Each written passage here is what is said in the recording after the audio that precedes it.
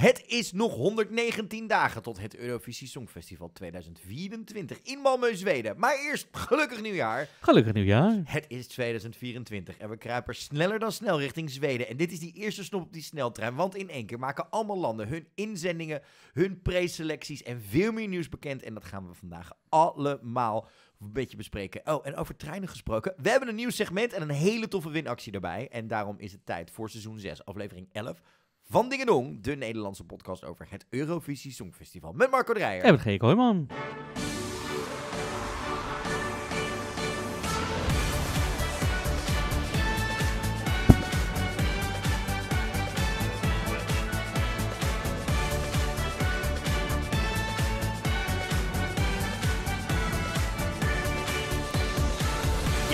Je luistert naar Dingedong, de Nederlandse podcast over het Eurovisie Songfestival met Marco Dreyer. En G. Kooijman. Ja, en waar gaan we het vandaag onder andere over hebben? Nou, de ESC Top 250 was er. En nog een dienst. Eh, er is een nieuwe sponsor. Eh, er zijn liedjes uitgebracht die wat, wat ons betreft echt direct naar het Songfestival hadden gemogen, maar het niet gaan doen. Ehm, Spanje maakt een decor bekend. Moldavië, Finland, Luxemburg, Ierland. Iedereen maakt in één keer kandidaten bekend. Noorwegen ook. Er is weer een gedoe rondom AI. En er is wederom Eurovision drama galore. oh, ik heb me toch straks weer iets waar, wat je moet gaan uitleggen, Marco. Uh, zit je mee te kijken op uh, Spotify of YouTube, dan hangt hier straks misschien wel een prikbord. Dat heeft Marco misschien zelfs wel nodig, denk ik, voor wat ik straks ga uitleggen. Dat wordt echt zo'n crime scene verhaal met eerst dit, toen dat, puntje van daar naar daar. Komt helemaal goed. En straks dus een heel erg leuk nieuw segment in de podcast, dankzij uh, onze nieuwe sponsor. En daar zit ook iets bij waar jij iets aan gaat hebben, toch Marco? Als je Mhm. als luisteraar mee uh, Als je kijkt. goed oplet. Zeker. Dus Songfestival nieuws is het lang geleden. En aan het einde natuurlijk nog even een blokje. Hoe is het nou echt met ons? Zeker. Allereerst, het is natuurlijk 2024 en dat betekent dat we ook weer gaan sparen voor onze trip naar Malmö. Voor het Songfestival 2024. En zoals jullie weten proberen we ieder jaar af te reizen naar het Songfestival. En daarvoor allemaal mooie dingen te maken voor jullie. En eh, dat kan niet zonder jullie hulp en steun natuurlijk. Nee, want wil je ons steunen en kan je financieel wat missen, dan kun je dat doneren via onze fooiepot. En dat schrijf je met een D. Je gaat naar fooiepot met een D.com en je zoekt de Dingedong Songfestival podcast op. En daar kun je doneren vanaf 1 euro voor ons als onafhankelijke makers. Want eh, we zitten nog steeds gewoon lekker bij jou hier in je eigen kamertje. Met onze eigen podcast set. Eh, we doen het helemaal van onszelf, onafhankelijk. Dat betekent dat we alles kunnen zeggen wat we willen. Maar dat betekent ook dat er niemand is die eh, de grote bankrekening van het bedrijf trekt om te zeggen: gaan jongens naar Malmö. Nee. En eh, wist je trouwens ook dat je ons maandelijks kan steunen? Je ja, kunt ik op wist dit. dezelfde website ook. Je kan ook instellen. Nou, ik, ik maak automatisch elke maand 1 euro over. En dat zouden we natuurlijk ook heel tof vinden, want zo help je ons nog meer. En dan weten wij een beetje elke maand wat, wat we kunnen verwachten. Ja, en eh bedoel, ik zeg het maar zo. Eh 1 euro is tegenwoordig ehm, een stuk of 6, 7 van die eh statiegeldblikjes. Mhm. En waarop bijvoorbeeld, is En, idee. en, kijk, stel je voor dat we bijvoorbeeld, nou, misschien wil Joost gaan interviewen dit jaar, ik zeg maar wat. Dan zouden we dat misschien wel kunnen doen van een bepaald budgetje in een echte studio. Exactly. Met meerdere camera's en dat soort inzoom dingen en memes en dingen ertussendoor. Love al dat. Ja. Ja, veel Songfestival nieuws, Marco. Dus we moeten eh, eh, eh, redelijk wat sneltreinvaart gaan maken Mhm. vandaag. Maar ik ben wel even benieuwd, hoe is het met jou? Nou, ik moet zeggen, ik zit sinds dit jaar echt heerlijk in mijn vel. Ik heb echt een lekkere vibe in me zitten. Het is wel weer meteen heel druk, maar ik heb het idee, waar ik vorig jaar een beetje achter de trein aan aan het rennen was, zit ik nu in de trein. Ja. Oh, niet in een locomotief. Je bent hem niet aan het besturen nog. Tuut, Nee, Je bent nog passagier. ik ben nog wel passagier, maar ik zit wel lekker in de trein. Lekker. Dus, dus ik ga lekker. Hoe ga jij? Ehm, ik ben nog aan het opstarten met mijn dienstregeling, om even in de treingrapjes te blijven. Ehm, waarom wordt straks in één keer duidelijk. Ehm, maar ik moet je wel zeggen, ik ben nu langzaam uit mijn traditionele Songfestival dip aan het komen. Oh. Ik heb altijd zo net richting het einde van december, begin januari, even zo'n dip. Niet alleen van... Oh Net nadat God, de inzending van Albanië bekend is. ja, meestal is dat het moment. Ehm, nee, dat heeft meer te maken met dan in één keer worden er langzaam zoveel liedjes tegelijkertijd bekendgemaakt. En ook omdat eh, ik me nog steeds toe, toe laat verleiden om dan gewoon op X, het voormalig Twitter, te kijken. En er zoveel hot takes dingen zijn. En alles is een relletje, alles is een ding. Alles zijn 20.000 verschillende meningen over. En dan denk ik altijd, oh, ik heb hier toch eigenlijk geen zin in. Ik wou dat we die podcast in maart begonnen als die liedjes bekend waren. Ehm, gewoon omdat, het dan, omdat ik al te veel weet en meningen weet en, en ook mijn handen van het toetsenbord af moet houden. Maar die dip is nu weer langzaam aan het eh, verdwijnen. Je bent weer vol op het toetsenbord. ah. Nee, dat valt reuze Oh. mee. Het zijn wat kleine dingetjes, hebben we het straks over. Ehm, nee, dus dat en druk met werk. Daarnaast ga ik iets heel tofs doen waar ik het even heel snel hierover wil hebben. Ik ben namelijk aanstaande maandagnacht vanaf 1 uur s'nachts voor de nachtbrakers. En anders dinsdag om 10 uur s'avonds de herhaling. Namelijk de Emmys aan het presenteren, de grootste televisieprijs. In Amerika van, staat hij eh, even Amerika. op het podium. Ja, nou, I wish. Nee, eh, nou, ik heb de afgelopen maand de Golden Globes gezien. Ik heb gezien dat iedereen dat kan presenteren tegenwoordig. Oh my, ik bedoel, je weet dat ik dit soort dingen meestal niet kijk, maar ik heb wat ik voorbij is gekomen, dacht ik, Oeh, ciao. Ja, en dan met de smoes. Ik had maar drie weken en, Ja, je, en en, en je schrijvers om de, om, onder de trein te gooien. Ehm, nee, dus de Emmys, de grootste televisieprijs van Amerika, worden weer uitgereikt eh, met heel veel genomineerden. En eh, maandagnacht om 1 uur s'nachts, dus maandag op dinsdag en anders op dinsdagavond om 10 uur, eh, ga ik de kijkers op OutTV, die trouwens zender van de maand zijn, bij onder andere Odido, dus gratis te bekijken. Die Kun je met me mee de hele nacht door de grootste televisieprijs van Amerika. Vond ik even leuk om te melden. Maar Marco. Nieuws, nieuws, nieuws, nieuws, nieuws, nieuws, nieuws, nieuws, nieuws. We begonnen traditioneel natuurlijk, want de laatste uitzending die we maakten was net na de kerst. Mhm.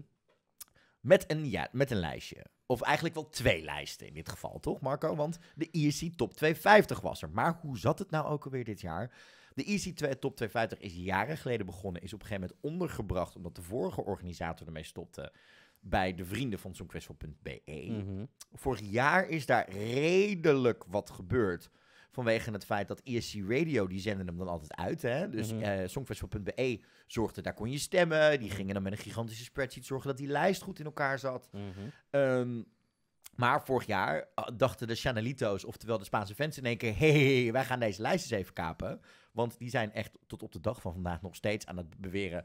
Als de oorlog niet was geweest, Chanel is eigenlijk de echte winnaar van Turnijn. Oké, cry me a goddamn river. Als die vrouw had gewonnen, dan had ze misschien wel een succesvolle carrière gehad. Want op een WK-thema-nummer daar hebben we er niet meer gezien.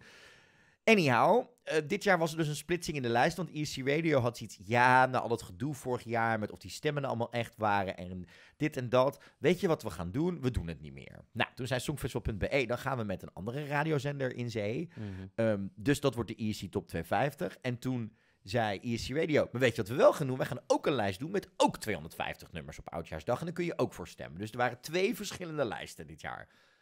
Tot zover. Jij hebt alles uitgezocht als het gaat om de ESC Top 250, toch? Die originele lijst van Songfestival.be. Nou, ik heb het niet uitgezocht, want ik kan je vertellen, ik kon het niet vinden. Oh. Op de website namelijk, van songfestival.be, als je daar gaat naar dit is de top 50, krijg ik dus niet, ik kreeg dus niet de lijst. Oh. En als je dan staat er een link, er staat een full list, of we, posten het op 1 januari. Nou, je kan mij, misschien ben ik nu een soort enorme, sorry dat ik het woord ga gebruiken, boomer, te refereren aan iemand die internet niet snapt. Maar ligt het aan mij? Ik eh, ben even voor je aan het meekijken. Nou, ik zie hem wel degelijk. Ja hoor, als je gaat naar deze link, Marco. Je moet namelijk in het linkermenu klikken op ESC Top 250. En als je daar dan op klikt, dan krijg je Results 2023. En daar staat de volledige lijst van Even kijken hoor. jaar. Links. Ja, je hebt het op songfestival.be, heb je een minuutje. Even kijken hoor. op de website. We zijn het nu live aan het doen. Ja, nou, Deze is website is namelijk... Op, op, op, Ik bedoel, het is toch je grootste blog, daar open je Is dit mee? een trend aan het worden? Dat sommige Songfestival-websites gewoon sinds, eh, laten we zeggen, de afgelopen tien jaar niet aan een nieuw design zijn toegekomen? Omdat het gewoon zo druk is met Songfestival Kijk even naar onszelf. Luister, Wij zijn een podcast. wij zijn een podcast en mijn eh, technische kennis is ook niet eh, briljant. Anyhow, Oh ja, ik zie hem nu wel. Ja. je ziet hem nu staan. Ja, wat fijn. Nou, eh, maar die lijst, Marco. Wie was de winnaar, de grote winnaar van de ESC Top 250? Karia. Ja, vertel. Verbaas Tja, je tja, dat? tja. Nee, want we weten hoe die fans inmiddels... We hebben het hier vorige aflevering over gehad. We weten hoe die fans in elkaar zitten. Mhm. Ik bedoel, Loreen is één keer uit de top van de eerste plek gestoten, Dat was ik. Chanel vorig jaar. Dat was Chanel. Nou, Ja. dat waren ook fanatieke fans. Nu dat zien we dit jaar weer. volgende fanatieke fans. Maar ja, op nummer 2 en 3 hebben we Lorraine. Lorraine, gezellig. Lorraine. ervan. Nou, daarna hebben we Chanel. Daarna, weet ik niet wie dat is. Eh, daarna Maneskin. Cornelia Jacob staat gewoon op 5, Marco. Come on Jacobs. Eh eerste Nederlandse inzending is natuurlijk Duncan op 12. Leuk. Zien we staan. Is wel heel eh, fijn om die weer voorbij te zien komen. Zie je wie daarboven staan? Zeker. Joker out met vind Carpe ik Diem heel leuk. Is heel fijn. En ook, je ziet toch hoe die fans van Spanje daarboven stemmen. Blanca Paloma. Ja, er staat eigenlijk niets, als je goed kijkt, in de lijst. pas op nummer 18 uit 2009 als een winnaar. Daaronder zien we, hè, dan komen we weer een winnaar tegen op 21, eh eh Helena Paparizou. En dan, ja, het is toch wel tot aan de, de top, in de top 20 staat niets meer van oudere jaren. En daarom wil ik ook gelijk even iets zeggen over deze lijsten. Deze lijsten, en dit moeten we constant onszelf aan blijven herinneren, ook als je luistert als Songfestival-fans. Het zijn lijsten met het meest populaire Songfestivalnummer op dat moment. Dit is niet een verkiezing van het beste Songfestivalliedje. Nee. Die zouden we één keer moeten doen en dan pas één keer in de zoveel jaar weer misschien Ja. moeten doen. En je ziet altijd, ook zien we dit jaar dat bijvoorbeeld bij de top 2000 op Radio 2 en bij Serious Request die het voorbij komen, recentere liedjes zullen altijd meer stemmen eh, Ja. krijgen in die zin. Ik heb even de andere lijst opgezocht trouwens. Mm. De lijst van de ESC Radio Top 250. Daar won Loreen uiteindelijk wel. Kadia werd daar tweede. Euphoria werd derde. Diodato met Fire Rumore werd vierde. Cornelia Jacobs werd daar ook vijfde. En daar stond onze Duncan op zes. En Chanel op zeven. Eleni op acht. Go A. Shum, die het ook nog steeds zo goed doet, op negen. En Maneskin op tien uiteindelijk. Dus dat zijn ook niet eh, hele slechte resultaten. Opvallend daar bijvoorbeeld is dat we op 36 de eh, Common Linnets weer voorbij zien komen. Hmm. Dus dat is ook wel een mooi eh, resultaat. Terwijl ik Steam redelijk hoog zag staan bij de Eurovision, de ESC Top 250. Op nummer Dus dat is- 26. Ja. Dus wij Nederlanders zijn ook niet heel erg vergeten qua dat soort dingen. Ik zag dat Treble stond op nummer 1536. Bij de Easy Top 250. Dan heeft er waarschijnlijk één iemand op gestemd. Eh, ja, één iemand. Eén iemand. Op 1536. Dat was in ben jij geweest. dat moet. Nee, Nee! niet eens. Oh, heb je ook niet op Michel gestemd? Nee, want je kent mij. Ik heb weer eens niet gestemd. Dus Nee, jij in democratie, dat zal je toch wel weer eens, hè? Meine goede. Zit, zit, deze man zit dus elke keer in een stembureau. Zo van, je moet meedoen, je moet stemmen. Democratie is zo belangrijk. Maar dan vervolgens ook als wij in dat perscentrum zitten... en dan komt iemand langs... Hij wil je vandaag de perspol invullen... wat jullie als pers van de repetities vonden... Zegt hij, ja, zegt hij gewoon glashard in diegene zijn gezicht. Ja hoor, doe ik. Ook in Nice was dit. Dit is in Liverpool gebeurd. Dit is in Turijn gebeurd. In Parijs gebeurd. In Rotterdam gebeurd. En dan volgens een half uur later kom ik terug. Heb je ingevuld? Want hij is, is net gesloten. Nee, Oh, niet nee. gedaan. Geen zin in ook. Dit, is, dit is zo Marco Dreyer ten top uit.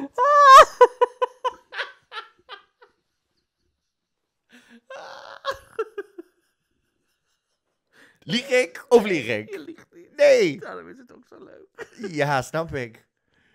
Het is weer me voorbij gegaan. Ik dacht, oh, ik moet stemmen. Dan is het altijd dicht. denk ik, oh ja, nou ja.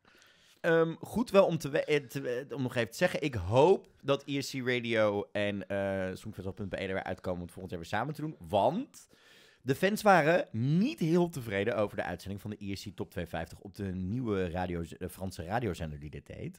Want die besloten om in veel gevallen, namelijk niet de officiële Songfestival-versie van het liedje te draaien, maar in sommige gevallen de eerste versie die bijvoorbeeld een keer uitgebracht is voordat er 10.000 revamps overheen gingen. Oh ja.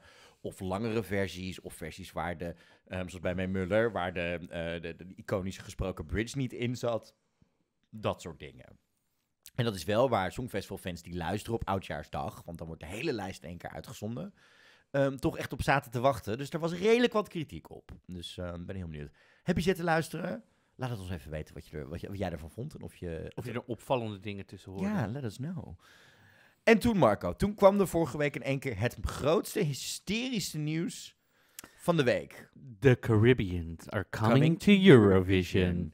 En wij vroegen gelijk aan onze Ja, luisteraars. ik dacht, ik knal Waar gaat dit in. over? Marco, jij hebt dan vast ook wel weer dat stickertje even bij de hand. Met, voordat we het gaan hebben over wat dit was, wat er precies, wat onze luisteraars Ja, dachten dat Onze dit luisteraars waren totaal in paniek. Was het Nicki Minaj die in één keer voor Trinidad gaat? Is het Rihanna die mee gaat doen? Ja, Zijn het, zijn, het de, zijn het de Franse of Nederlandse koloniën die in één keer mee gaan doen aan Eurovision? Wat was er precies aan de hand? Maar nee, uiteindelijk bleek het om heel iets anders te gaan. Daar kan, vertellen we je zo, maar Ja. eerst wat dachten onze luisteraars? Nou, meteen, mensen zeggen eh, waarschijnlijk iets zwaars teleurstellend als de Green Room komt, lijkt op een strand. Waarschijnlijk iets van een interval act of misschien een bikini merchandise. Hoop dat het een nieuwe sponsor is. Lijkt me niet dat de Caribische landen joinen. Zoveel vragen. Gaat het om een interval act? Een extra land wat meedoet? Of een hint naar een van de presentatoren? Ik ben in ieder geval heel benieuwd. Heel veel mensen zeiden interval act, interval act. Iemand zegt EC Worldwide lijkt me echt niet zo leuk. Australië hoeft voor mij ook niet verder verlengd. Love je eerlijkheid. I need, need more info. Ik ben heel excited, maar het zou wel raar zijn als we zeggen dat er steeds 37 landen meedoet. Trinity Brillig zegt, ik hoop hopelijk een sponsor. Niet dat we volgend jaar opeens op Puerto Rico zitten. Eh Levant zegt, ophouden met al die aankondigingen die alleen maar tot speculaties leiden. Ja, dat is de hele bedoeling van social media. Ja, iemand zegt, eh Lou zegt, ik ben vooral benieuwd naar de constructie. Is dit een samenstelling van de Europese Antillen? Dus heel veel mensen waren alleen maar, ja, mensen, Rihanna, Camilla Cabello. Nou ja, goed, het ging maar, ja. Maar wat bleek het uiteindelijk te zijn? Namelijk Royal Caribbean is de nieuwe grote sponsor van het Eu- Eurovisie Songfestival 2024 en, En 2025. Zij worden officieel die official cruise line genoemd. Nou, daar heb ik nog wel vragen bij. Maar ze gaan... Ja, maar dat ehm, was jouw titel, toch? Nou, ik kan je vertellen, veel dingen ben ik. Maar na deze vakantie ben ik geen lijn meer. Mijn goede meer een cirkel. Ehm, maar de Royal Caribbean brengt tot leven een gigantische eh, breedte aan momenten en ervaringen. Eh, waaronder merkbeleving tijdens het evenement, eh, dingen in de, ho- in de hoofdstad Malmö en meer. Dit wordt interessant, want er komt een European... Of, er is het Royal eh, Caribbean heeft een Europees seizoen. En dat betekent dat er zes schepen gaan, zeilen, van, eh, gaan zeilen vanuit acht verschillende sta, eh, Steden. steden. Mhm.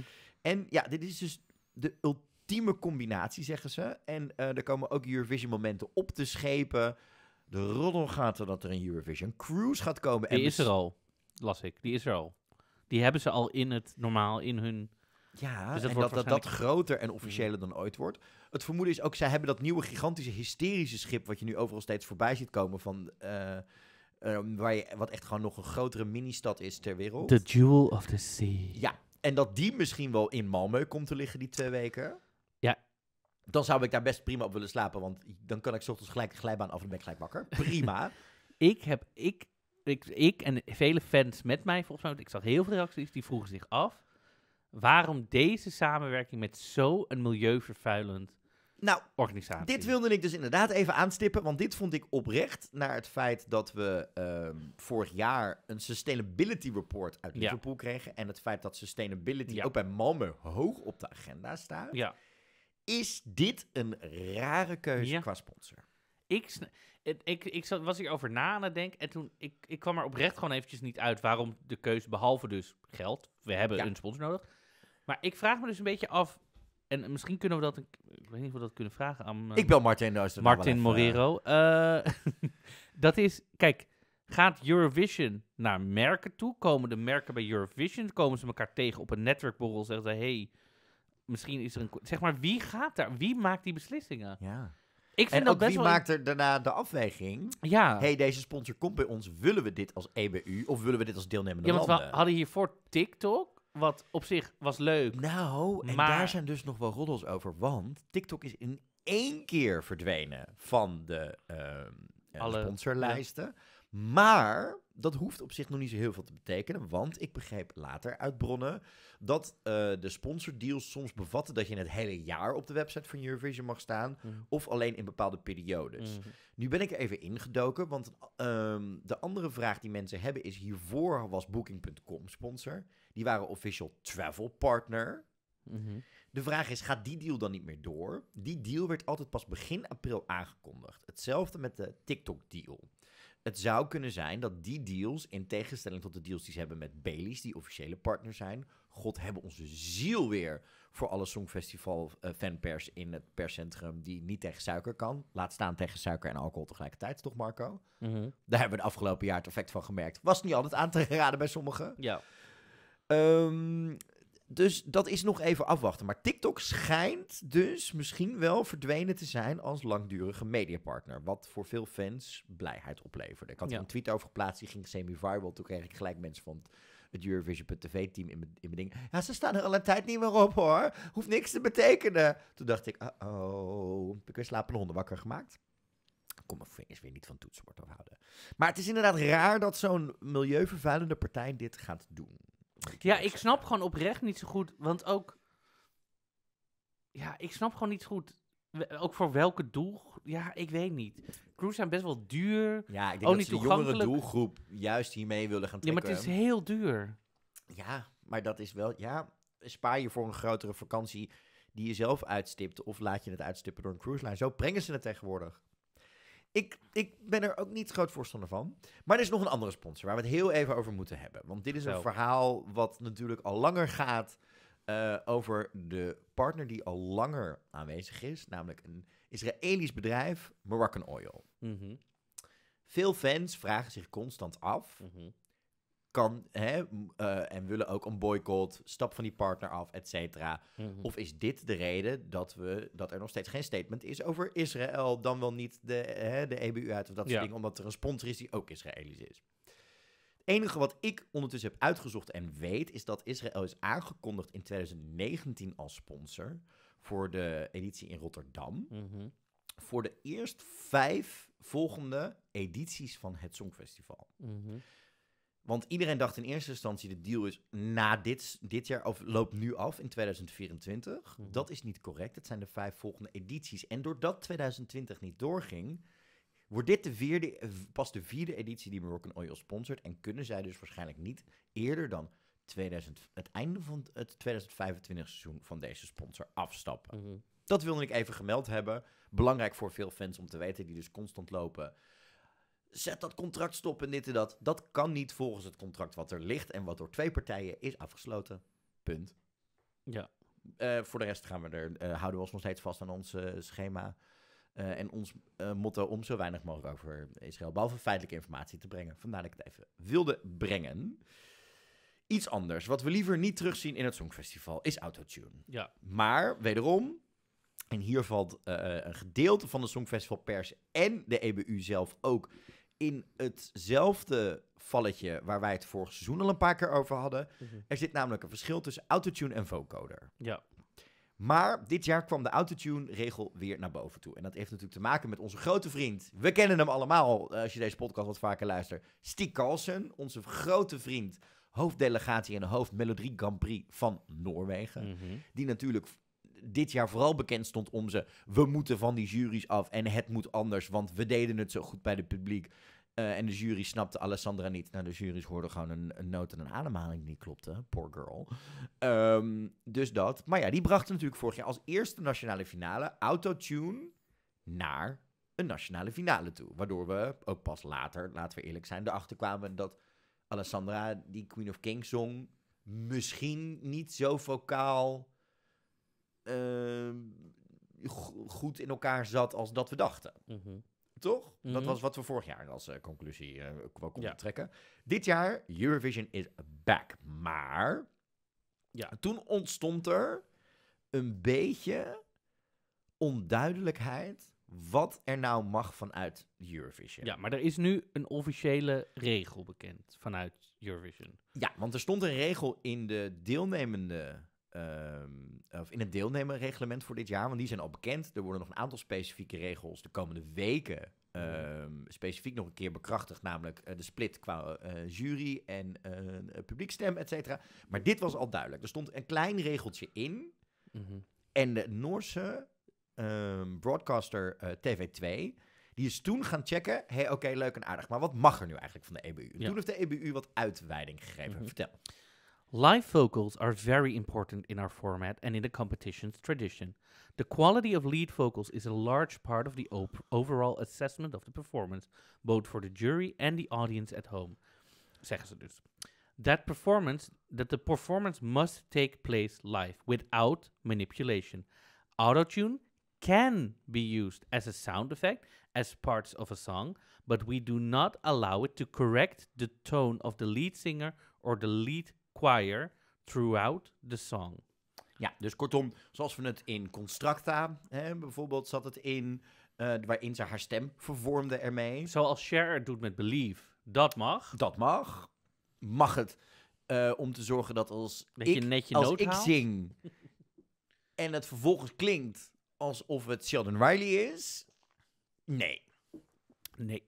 Eh, even om voor de luisteraars die nieuw zijn dit seizoen. Ik kan totaal niet zingen en dat wil je niet. Eh, dat was het grapje wat we net aan het maken waren.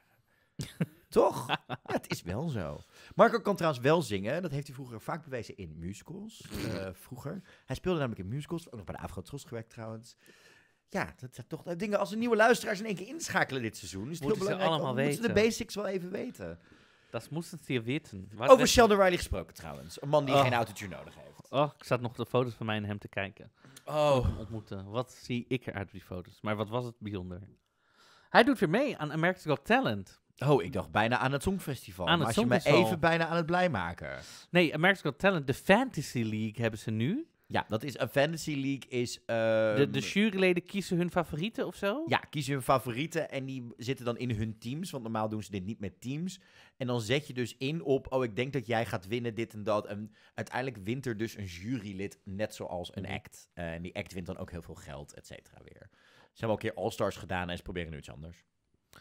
En hij, hij deed dus mee, hij kwam terug. En hij deed mee met eh, Is It Love van Loreen. Zullen we een stukje... Is het love, ja?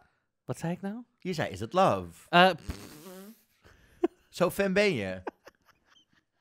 Zo goed, zo vaak heb je dit bekeken. tattoo, sorry. Nou, Marco, zet het dan maar aan.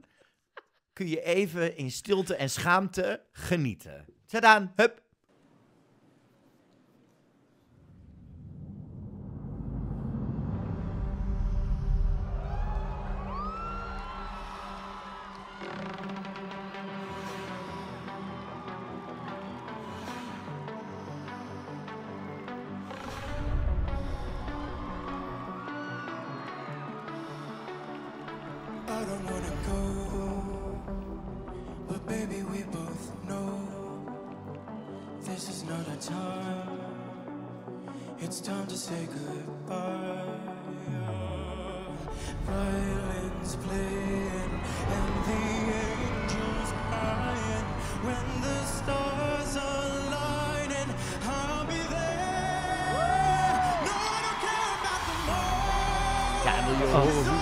Briljant dit verder gaat?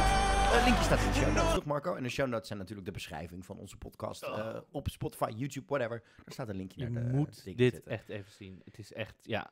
Alleen, Outfit alleen al voor het feit dat hij de nagels van Liverpool eh, de- van de grond heeft opgeraapt van de kleedkamer van Loreen die ze toen droeg en die gewoon nu op haar zijn eigen ding heeft gedaan. Het was wel een lekker één op één kopietje qua nagels, toch? Ja, maar ik, hij was gewoon zijn, ehm, zijn, eh, zijn, zijn Loreen, ehm, Dingetje aan het doen. ja. Ja, aan love het, eh, it.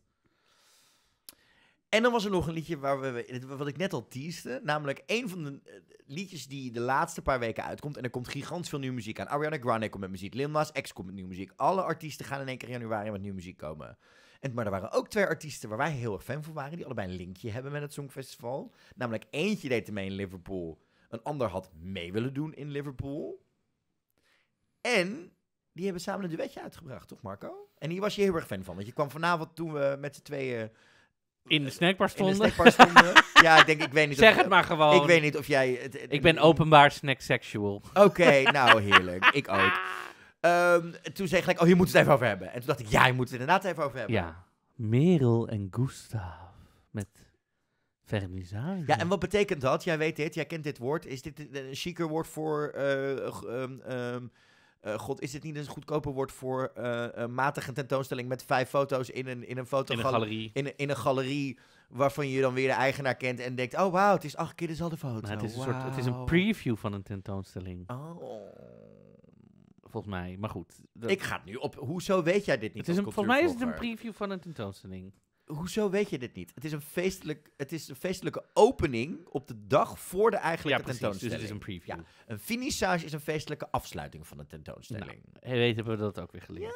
Een finissage. Een finissage we- en een versage. Zullen we even luisteren? Een klein stukje dan, want anders gaan de Ja, audio we moeten, mensen weer bij- Anders worden de... Dit is het niet. Dit is de, de reclame van YouTube. Maar daar komen we.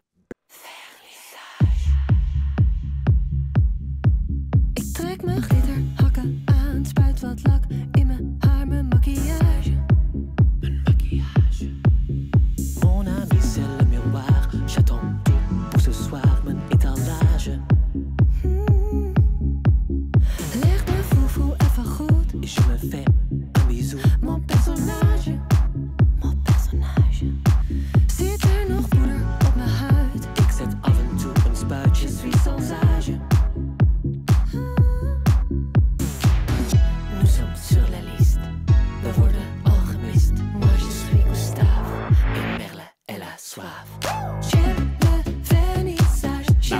Had wat mij betreft naar het Songfestival gemogen. Maar helaas. was toch wel een hysterisch ding geweest. Omdat het is natuurlijk elk jaar mogen, eh, wisselen we in zijn België om. Dus één jaar de Vlamingen en het andere jaar de Walen. Dit jaar zijn de Walen natuurlijk aan de beurt. Die sturen Musti. En dat wij dan als Nederland Merel hadden gestuurd met... Weet je wie wij gekaapt hebben? Gustav doet dit jaar met ons mee. Gustav. Zo van, Gustav is back, maar dit jaar voor Nederland. Voor de Nederlanden. Ja. Samen met Merel. Ja, ik vind het een heerlijk, eh, heerlijk bopje. Een dat bopje. noem je. Een slay. I love it. Ja. Geen nieuws over eh, Junior natuurlijk. Maar wat ik wel eventjes wil zeggen is dat we hebben, eh, we hebben hem gedumpt.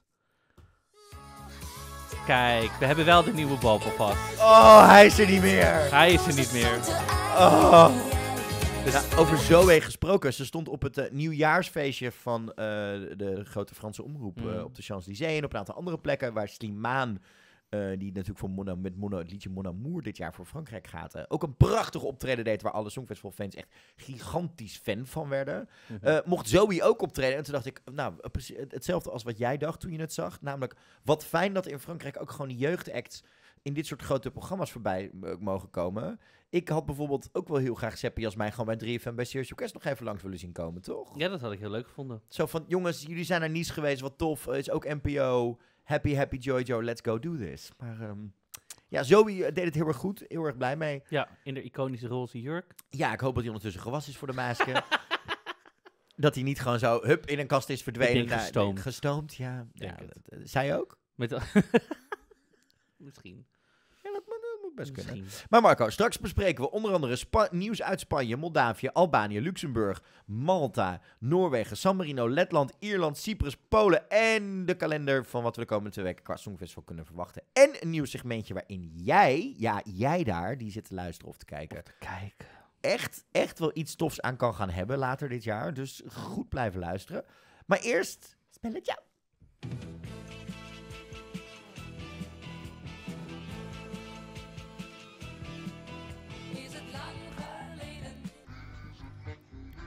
Het wekelijkse spelletje, want van deze kijkers zijn we natuurlijk weer wekelijks met de podcast. Waarin we elkaar een plaat proberen voor te schotelen uit het rijke Songfestivalgeschiedenis. Om te bewijzen dat je niet elke plaat uit je hoofd hoeft te kennen of te weten waar het geëindigd is om Songfestival fan te zijn. Dat mag je namelijk ook zien als je dit jaar in Liverpool voor het eerst bent gaan kijken. Eh, misschien een paar jaar meekijken en niet alle liedjes meer weet. Of überhaupt niet geboren was de laatste keer dat het orkest meedeed. Waar sommige Songfestival fans nog heel graag naar terug verlangen. Omdat toen zij nog hè, met 500 man in een zaaltje stonden en elke artiest wist welke naam het was. En daarom zijn ze al jaren bij de Songfestival fanclub aanwezig.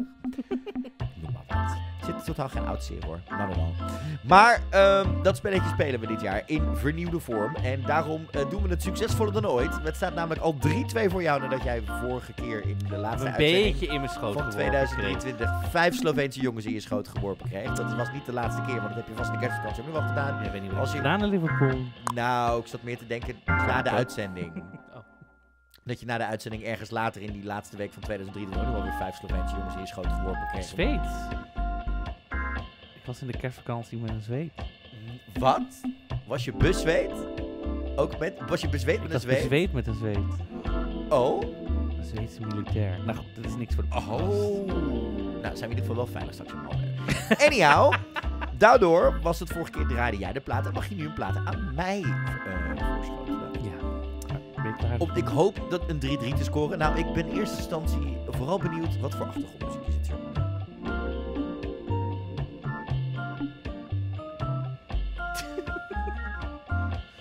Welkom op de Rijkhoor.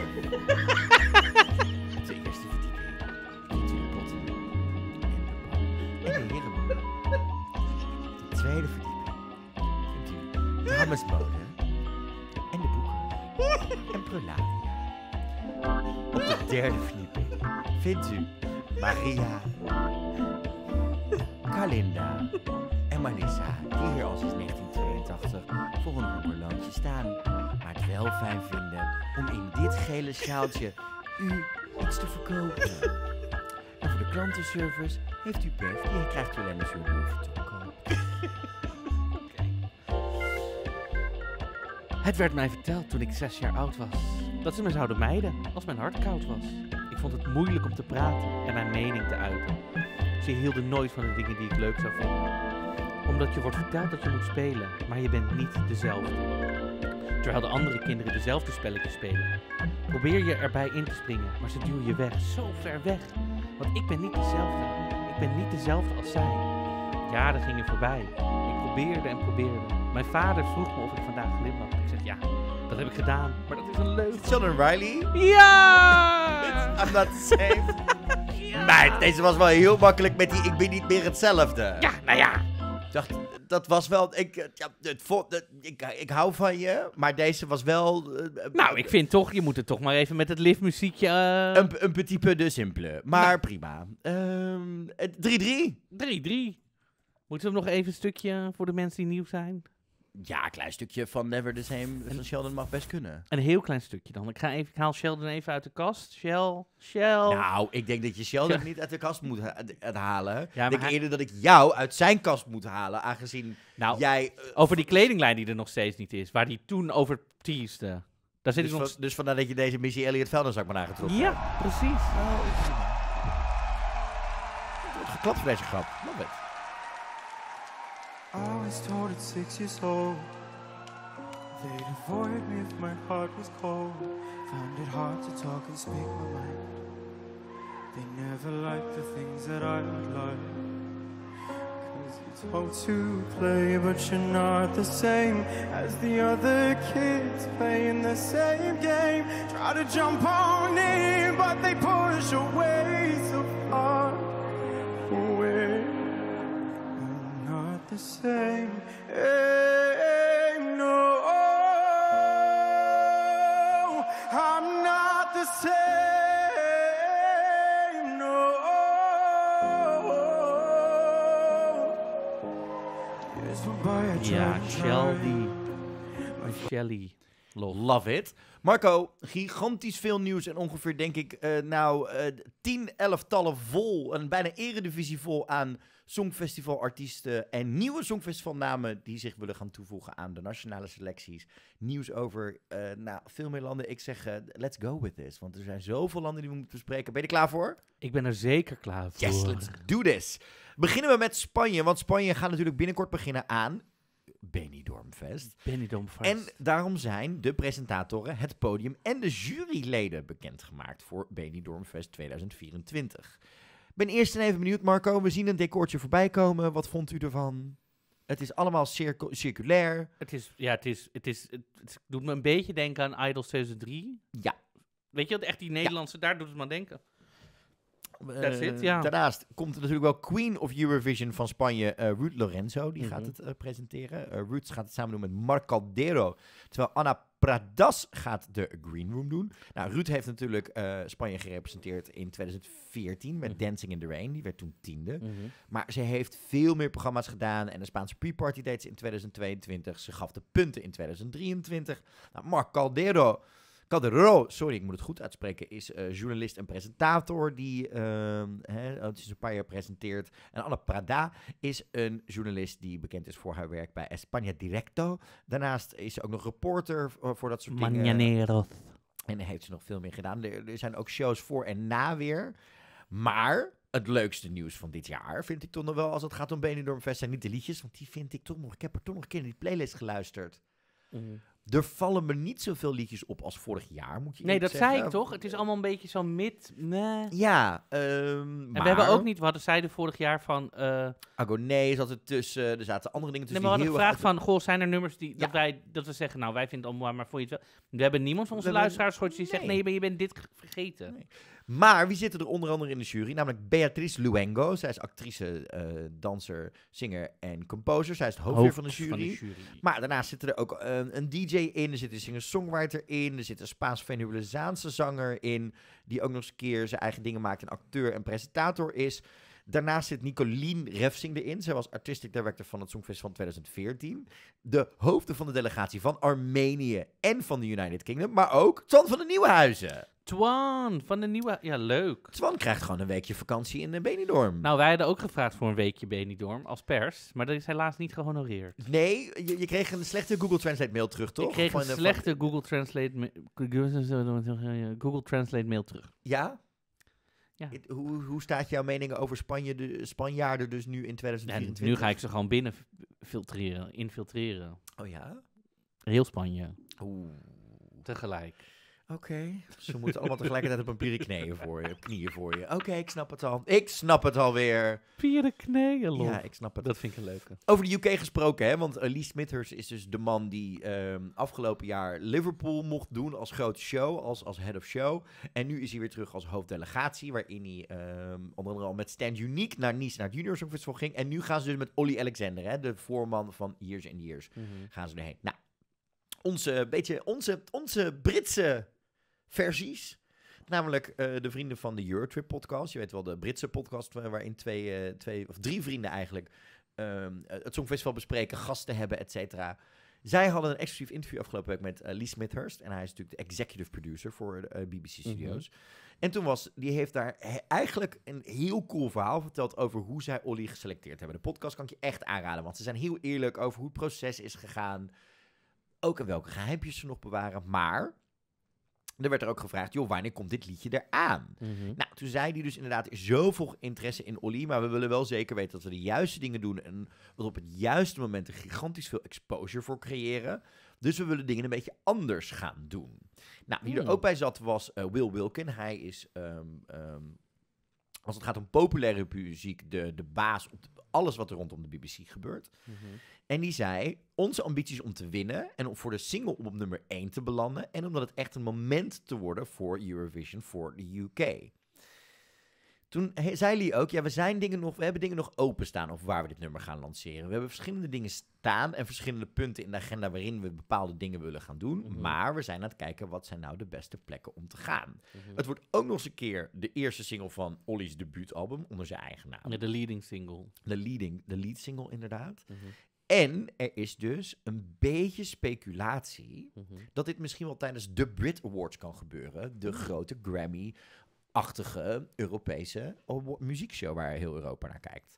Ehm, en wat ik nog wel heel cool vond om, om te zeggen is dat Will Wilken ook zei... je moet vrede hebben met wat het worst case scenario is...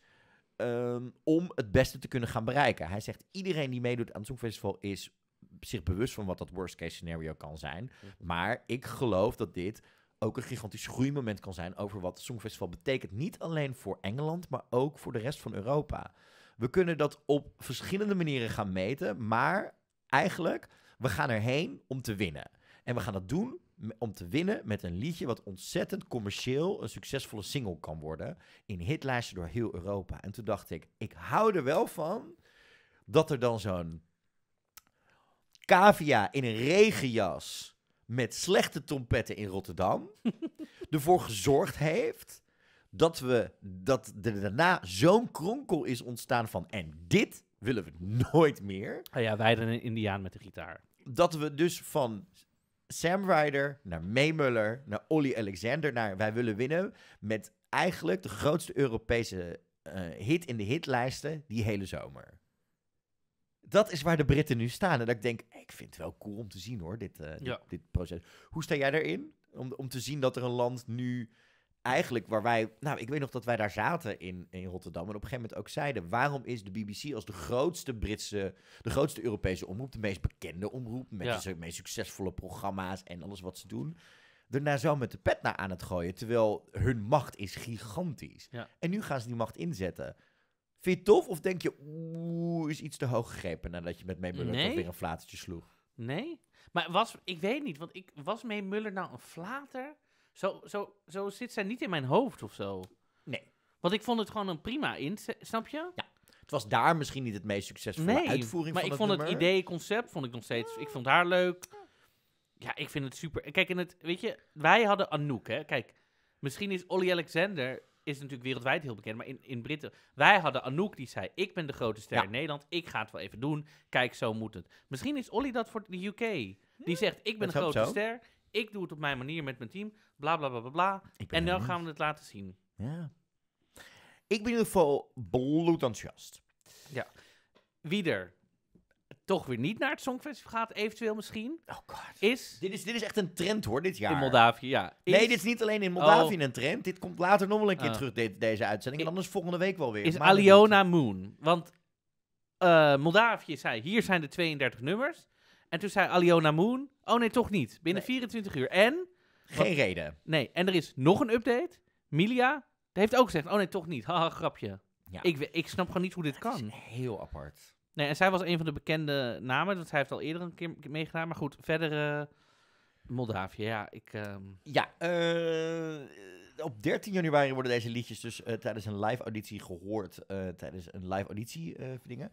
Daarna worden de liedjes dus langzaam afgerond. eh, en komen er op een aantal liedjes terug voor de nationale finale die op 17 februari mee gaat doen. Ja. Interessant. Etapa ta Er zijn 32 liedjes gekozen. Mhm. Dat kwam omdat er maar 51 zijn ingekomen. Ja. Dus wil je een keer meedoen? Maar hey, dat is niet zo heel erg, want eh, het jaar daarvoor waren er maar 9 inzendingen Ja. eh, binnengekomen voor de nationale finale. Dus wil je een keer meedoen aan het Songfestival? Moldavië is je. Nee, ja. want er zijn regels dat je wel iets met een Moldavische link moet hebben. Oh. En omdat er dus zo weinig liedjes zijn, zit er ook een of andere pipo in. En daar moeten we nog even heel snel over hebben. Namelijk Sasha Boghnibov. Die man is echt ondertussen eh, de grootste K-L-O-O-T-Z-A-A-K van het eh, Songfestival van dit jaar aan het worden. Ja, je snapt wat ik. Z-A-A-K? Z-A-A-K. Je snapt wat ik... Ja, ik probeer het even toch voor de kinderen die luisteren wat eh, te doen. Deze kerel maakt namelijk liedjes over... ehm, dit jaar zit er, doet hij mee met een liedje over dat hij meisjes van 16 heel erg gezellig vindt. En vervolgens, als je daar kritiek op hebt... eh, doordat je een YouTube-vlogger bent die zeg maar eh, reactievideo's maakt... of dat je misschien muzikaal zijn liedje niet goed genoeg vindt... dan zorgt hij ervoor dat je copyright strikes krijgt op je kanaal. En die vult hij dan regelmatig in, waardoor je hele kanaal geblokkeerd wordt. In sommige gevallen van bepaalde YouTubers die al 13 jaar elke week video's maken over het Songfestival. Redelijk succesvol, waar Mhm. fans heel erg naar uitkijken. En die copyright strikt hij dan. Gewoon omdat hij niet tegen kritiek kan. Mm. Over de onderwerpen van zijn liedjes. Nou, deze man is een schandvlek voor het Songfestival. En ik mag leiden dat hij nooit gaat. Maar ik snap het met 51 inzendingen dat je hem er wel weer tussen gooit. Hè? Maar no mas. Dat moest er even bijgekomen worden. Nou, dan beginnen langzaam de liedjes te lekken voor Finland. En Finland heeft natuurlijk dit jaar echt wel de ogen op zich gericht. Mhm. Vorig jaar met Cardia en Cha Cha Cha hadden ze een redelijk ook brutale eh, songfestival finale. Hè? UMK natuurlijk, waar onder andere eh, Benjamin met Hoida Moed in zat. Dat En- was echt een goede finale. Want wij zaten echt... We hopen dat het Kadia is. Ja, Maar, maar er, er zijn zaten er er meer. nog vier ja. tussen. Ja. Nu is er Ja. een lijst gelekt met mogelijke kandidaten. ja, met de mogelijke invulling van zo'n finale of halffinale. Of Ja, whatever. deze is via het internet gelekt. Ja. Ehm, dit is eigenlijk gewoon een tekstdocumentje wat we zagen. Mhm. Dat is interessant, ehm, want er zijn dus bepaalde artiesten die dus weer terugkomen en die daartussen zitten. Maar daarnaast zijn er ook deze week hints verschenen Mhm. op het kanaal van UMK voor elke inzending. En daar komen weer andere namen uit. Die vertel ik je zo, maar eerst wil ik toch even die reactie op één of twee namen die hier tussen zitten. Sex Mané, Nou, vooral die Oh. eronder. Windows 95 Man en Henry Pispanen. Ja, toen dacht ik, nou, dit kan toch niet, dit, dit, dit zal toch iets zijn. Jij, Sian weet je waar ik volgende week we ben? Sian Kicks hè, is er natuurlijk. Ja. Eh, die, die kennen we ook nog wel van eerder. Maar er gaat nu een andere roddel. Mhm. Namelijk één van de eh, hints. Want er worden dus allemaal verschillende hints. per- drie hints per dag gepost. Voor Mhm. elk liedje een aantal. Eentje daarvan waren coördinaten die gaan naar een Walmart ergens in Amerika. Mhm. Welke letters kun je eruit halen? Namelijk de, zang, de letters A-L-M-A achter elkaar. Mhm. Alma. Een hele toffe eh, Finse zangeres die ik vorig jaar nog live heb gezien, hier in de Bitsuit. Mhm. Die een aantal grote eh, pophitjes heeft gehad, een rauwe stem heeft, queer is, heel tof album heeft geschreven. En ooit wel de droom heeft uitgesproken om voor Finland naar het Songfestival te gaan. En Mhm. zelfs eh vriendin van de podcast, eh Christa Sigfried, daar wel eens advies over heeft gevraagd. Het zou dus zomaar kunnen zijn dat zij er waarschijnlijk wel misschien in zit dit jaar. En dat we dat soort dingen terug gaan zien. Binnenkort Dit- meer informatie. Dit is wel helemaal in de trend van, van zoektocht en zo. Die artiesten nu allemaal wereldwijd de hele tijd overal instoppen. En geheime boodschappen en, hints. En, net als Olly Alexander, weet je, hier in die, in die telefoonboot. 26 en Dizzy, ja, eh, Taylor Swift die natuurlijk ook eens scheet die ze later zijn Wie? hint. Taylor Swift. Ken ik niet.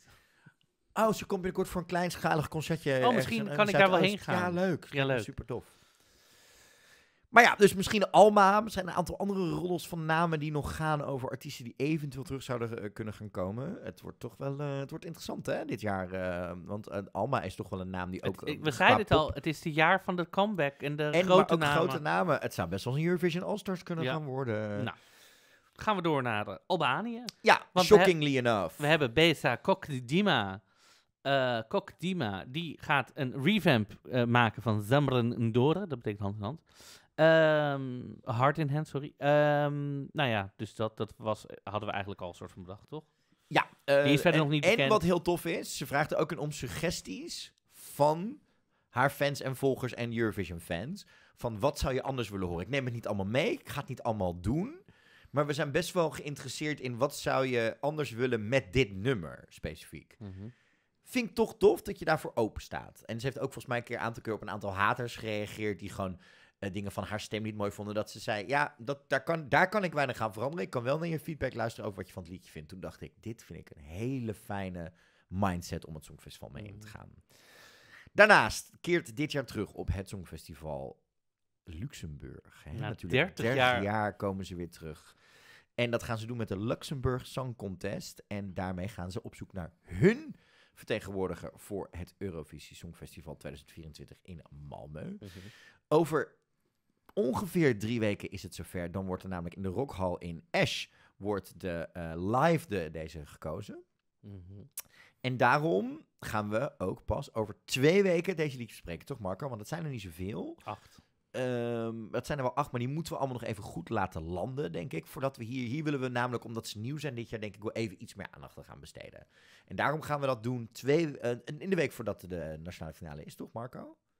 Heb je ze al geluisterd vandaag? Nee, nog niet. Ik heb geen tijd gehad. Ik, was, ik ben de hele dag aan het podcasten. Het voelt een beetje, moet ik je eerlijk zeggen, het voelt wel een beetje als een nationale finale die in zijn eh, kinderschoenen staat nog. Dat is niet Hmm. erg.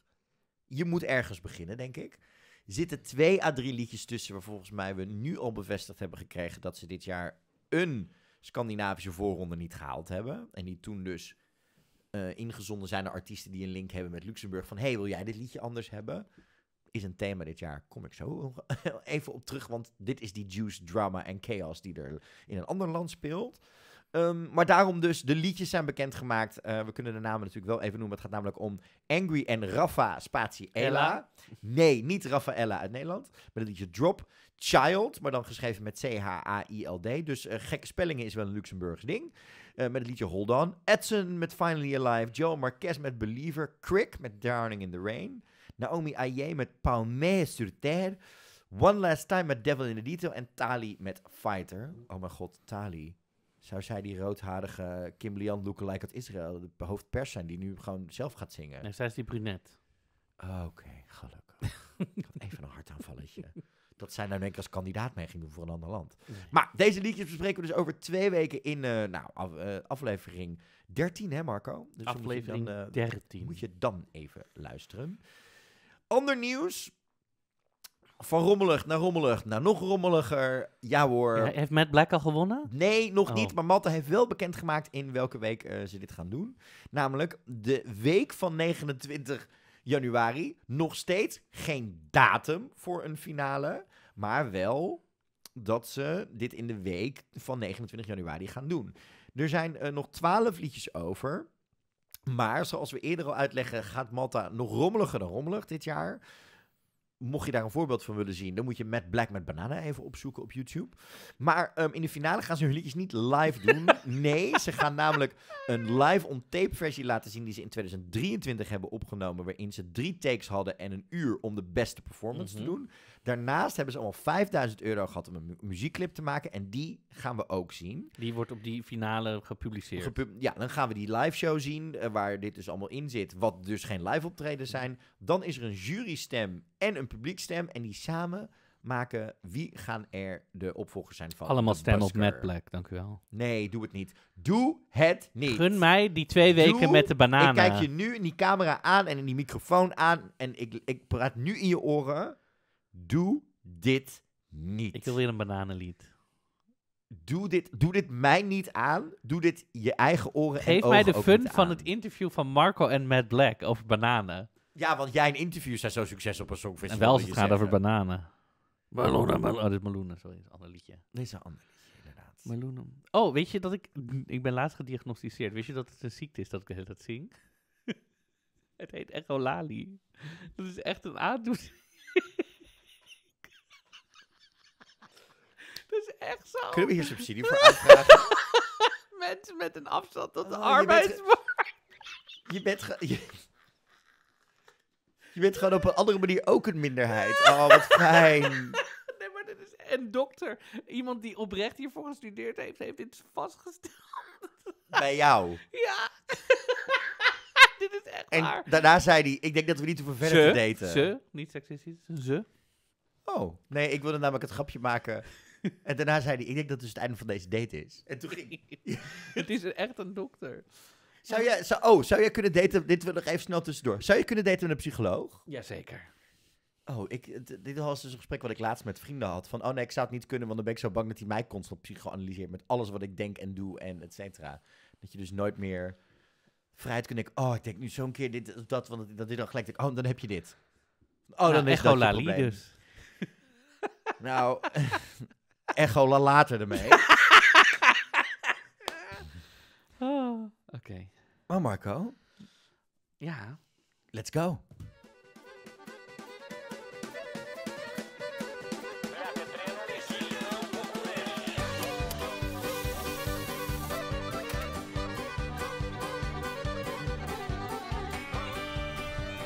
Tadadadada. Ja, want zoals jullie weten zijn wij groot voorstander van reizen met de trein. En dat doe je super makkelijk en super comfortabel. Onze vrienden van Eurostar en Interrail hielpen ons eerder al eh, naar Parijs, naar Nice toe, naar Turijn toe en naar Liverpool toe met de trein. En eh, dit jaar helpen onze vrienden van Interrail ons namelijk Europa door door te gaan connecten through music. Hè? United through music is het thema van dit jaar. Ja. En daarom is er een heerlijk sponsorblokje dit jaar. Een heerlijk sponsorblokje. Wat gaan we nou doen? Kijk, Interrail is natuurlijk de pas. Die kan je kopen voor drie dagen, vijf dagen, ze- nou, gewoon, je, kan- drie Van maanden. 30 tot drie maanden. Dan heb je reisdagen. Je koopt die pas en dan kan je door heel Europa kan je treinen mee. Die moet je boeken. weet Soms je kun je, hoef je niet eens te boeken, kun je Soms- gewoon instappen.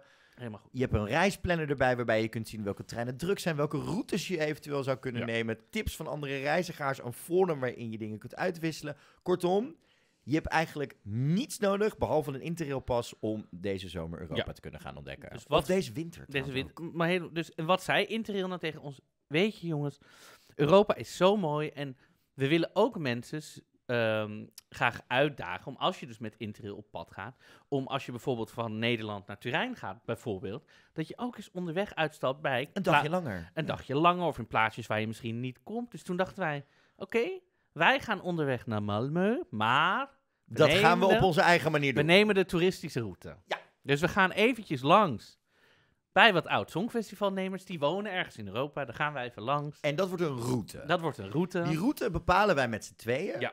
Om de week. om de week. En dat betekent dus dat Marco, jij mag deze week beginnen. Ik begin. Jij hebt het eerste punt uitgestippeld Ja. op onze route naar Malmö. Ja. En ik begin volgende week Daar. op dat punt. Ja. En ga dus op zoek naar het volgende treinstation. En laten we nou eerlijk zijn, in Nederland is het niet altijd zo, maar in veel Europese steden, stadjes, dorpjes kun je komen met een trein. In Nederland niet.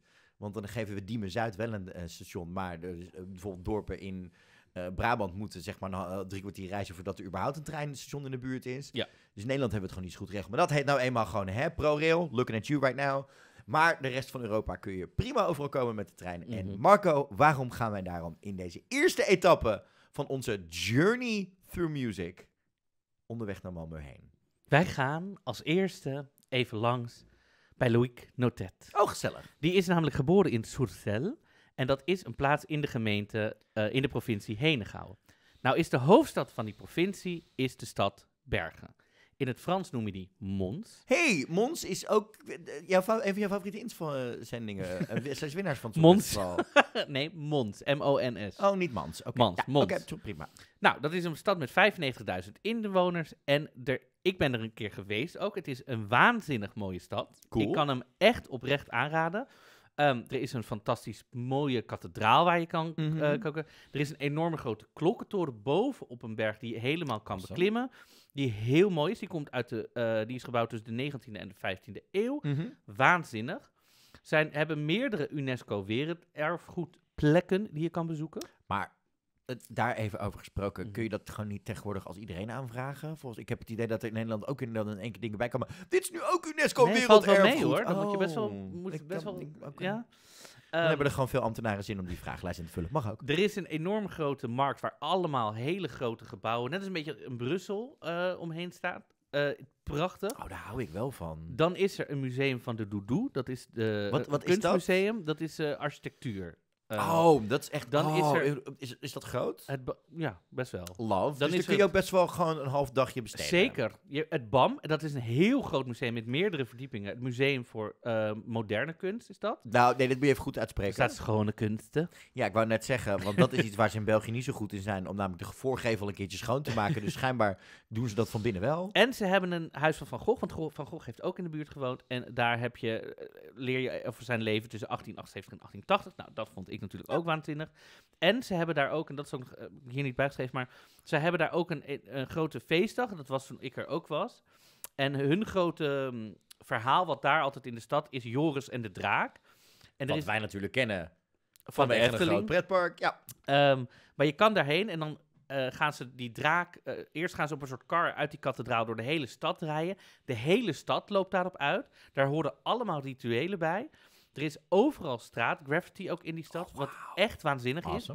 En aan het einde, ik was daar toen en op een gegeven moment, s'avonds is er een hele lichtjesparade met enorme cirkels.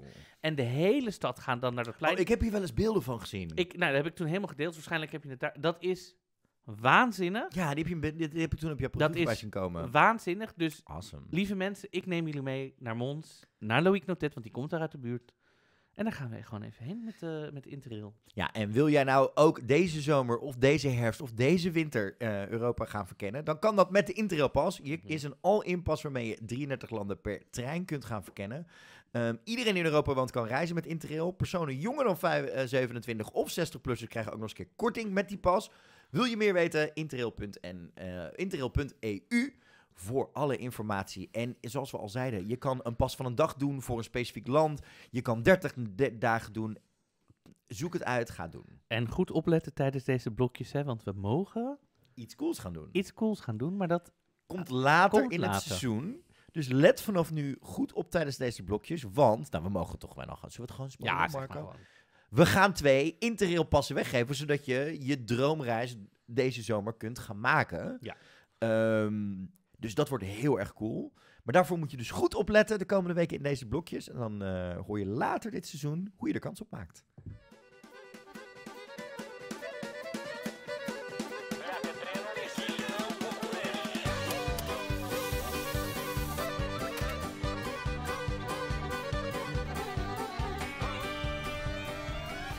Ik ben toch blij dat we uiteindelijk niet voor Kedenkendenk zijn.